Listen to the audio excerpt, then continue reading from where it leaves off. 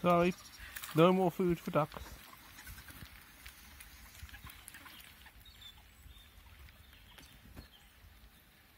Nice view into the distance, but all the ducks are now here.